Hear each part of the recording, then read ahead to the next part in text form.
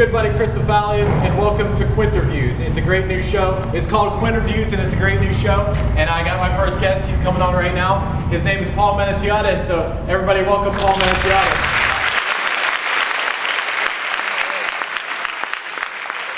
Hi. This is my buddy Paul. Hey Paul, welcome to Quinterviews. Nice to It's five you. questions with five people. Just two people right now, but uh, welcome to my show. It's great to be here. Thank you for having me. No problem. now on Quinterviews, how it works is I ask you five questions, then you answer the five questions, and then that's the end of the interview. It's called Quinterviews, and I hope you like it. Are you ready to hear some questions? Yes. That was your first question. What is your favorite color? Uh, teal. Paul, my next question for you is, what is the meaning of life? I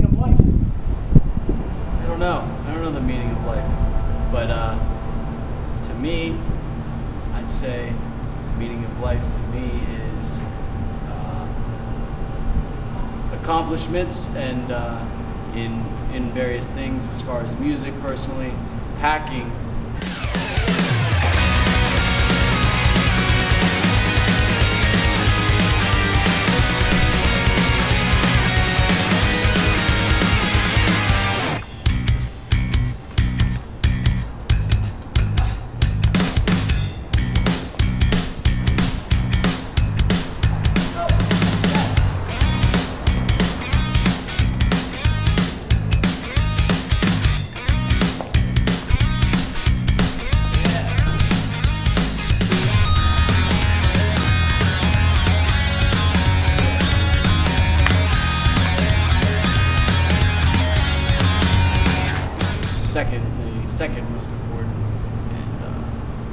Happiness and love.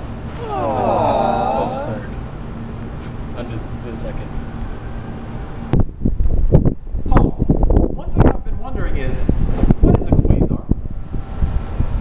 Quasar is a uh, quasars are associated with supermassive black holes at the edge of our visible universe. Um, thought that they are, uh, yeah, supermassive black holes that shoot out extremely hot jets of plasma uh, out of the sides of the black hole, out into the universe, and uh, actually they're associated with what's going, called blowing bubbles. Uh, these these massive uh, uh, quasars can uh, blow bubbles in, into space and, and, and, clear out space, like move the stars uh, and stuff, and uh, really cool.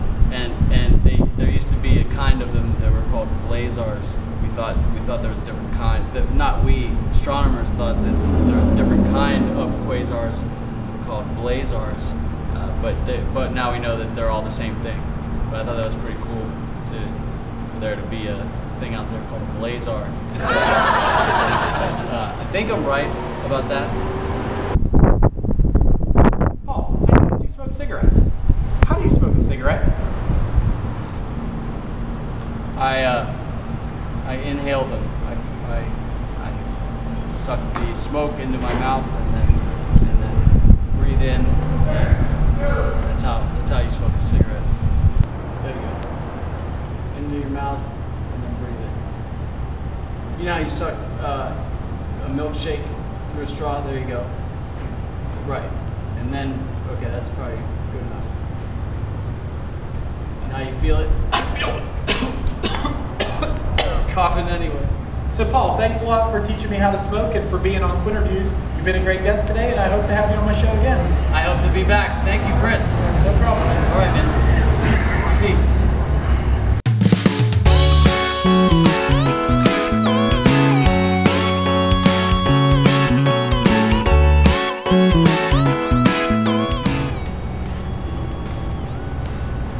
No smoke came out. Does Yeah. that mean it stayed in me? No, that means you probably didn't get a very good hit.